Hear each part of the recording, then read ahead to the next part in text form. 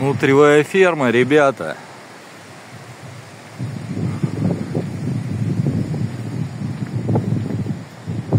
Зона отдыха Богородицк. 115 гектар, три водоема. Сосновый берег, водоем под рыбалочку. Тут племя основное внутри, маточник. Тут можно искупаться, шашлык пожарить, погулять. Огромная территория.